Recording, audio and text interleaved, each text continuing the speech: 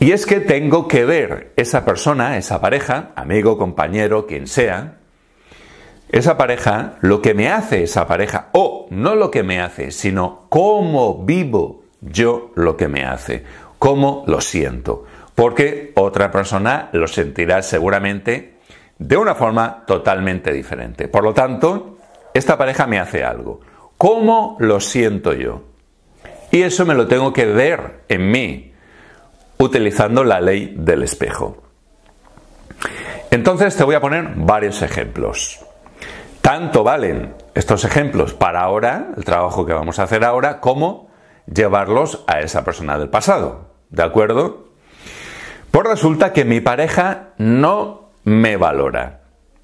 Si quieres apúntatelo, no me valora. Te voy a dar varios ejemplos.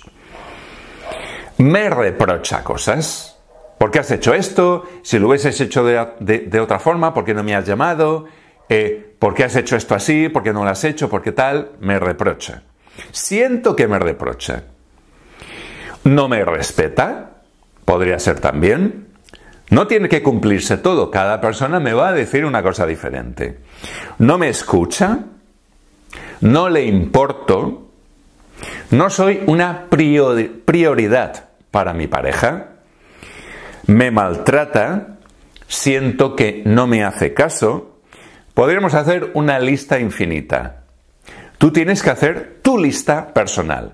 Piensa en tu pareja, da igual si ahora no tienes pareja, habrás tenido pareja. Piensa en esas parejas que has tenido para saber para qué las has buscado. Inconscientemente te repito.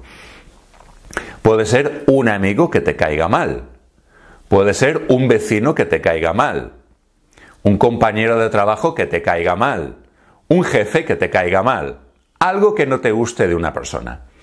Apúntalo. No me respeta, no me valora, no soy una prioridad para esta persona, me maltrata, no me escucha, no me hace caso, pasa de mí. Ahora, ¿cómo lo vas a mirar en ti? Bien. Si no me valora, he apuntado, por ejemplo, es que mi pareja no me valora. ¿De acuerdo? Aparte de buscar esa persona del pasado que no te valoraba, tú te valoras, es decir, si yo apunto, mi pareja no me valora, yo me valoro, seguramente no te vas a valorar. Y eso es lo que estás reflejando en tu pareja, amigos, compañeros, etc me reprocha cosas y eso no me gusta, es que me... Bien, tú seguramente tú también te reprochas. ¿Por qué habré hecho esto? Si lo hubiese hecho así, de tal forma, ¿por qué he ido? ¿Por qué no he ido? Tienes que hacer, si realmente quieres sanarte, tienes que hacer un trabajo profundo. No tienes que quedarte en la superficie, tenemos que ahondar ahí en la profundidad, en lo que hay en nuestro inconsciente. A veces no es fácil.